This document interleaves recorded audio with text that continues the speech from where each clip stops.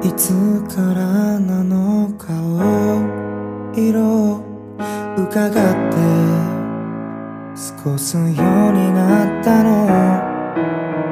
君ってる。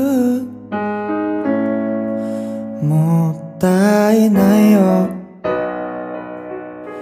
いつからなのくしゃって笑えなくなったの。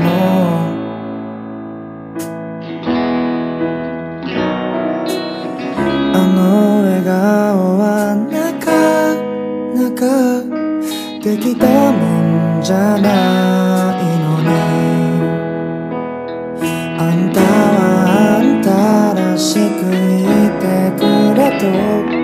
それができないのなら僕と一緒に自分らしさを取り戻すたびに今でよ生き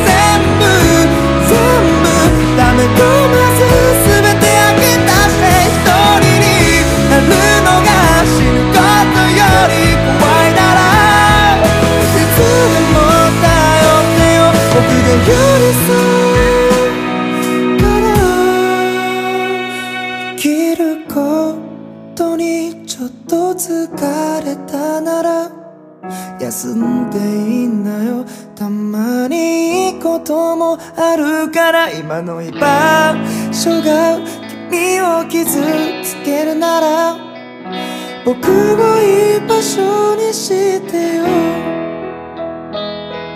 一番に自分自身だけを愛してあげて今日もよく頑張